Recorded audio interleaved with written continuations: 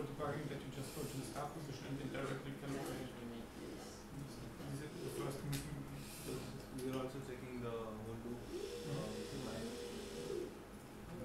I mean, in the, in there, sometimes there's error on this part of the. Mm. Oh.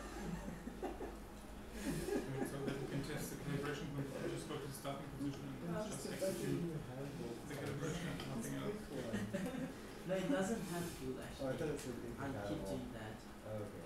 I would be like. No, yeah, that would be six. Yeah. Okay, then uh, something. Uh, Here's something. Something.